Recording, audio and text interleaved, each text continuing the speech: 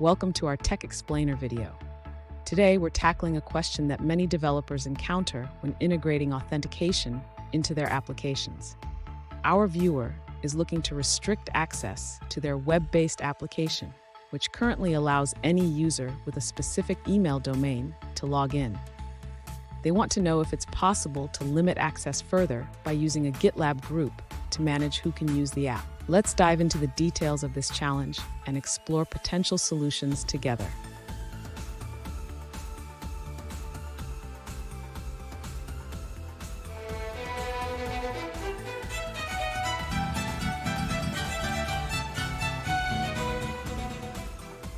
Welcome back to another technical video. Today we're going to be going through your question, answering it, and hopefully finding that solution for you.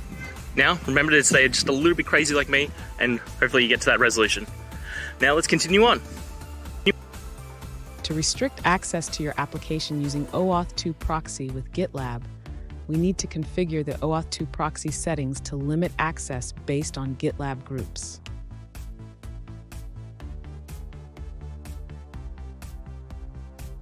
First, ensure that you have the necessary permissions to manage groups in GitLab. You will create a group and add the relevant users to it.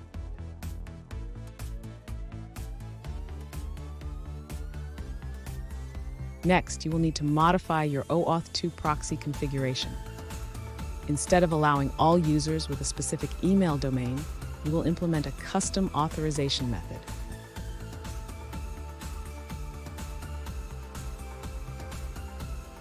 You can use the GitLab API to check group membership.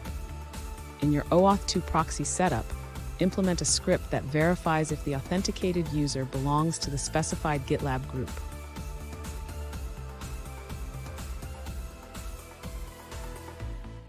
Finally, test your configuration to ensure that only users in the specified GitLab group can access your application.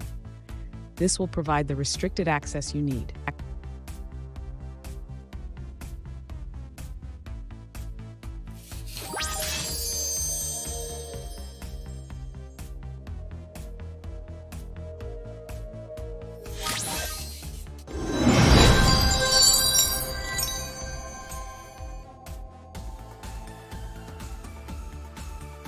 Let's now look at a user-suggested answer.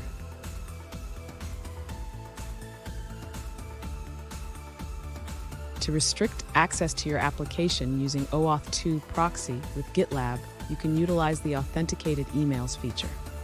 This allows you to specify a list of authorized email addresses.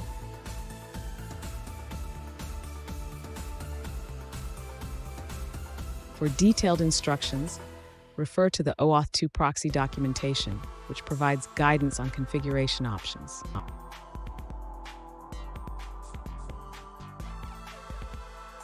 And that's it guys. I hope that's found the answer that you were looking for and you got through to that solution.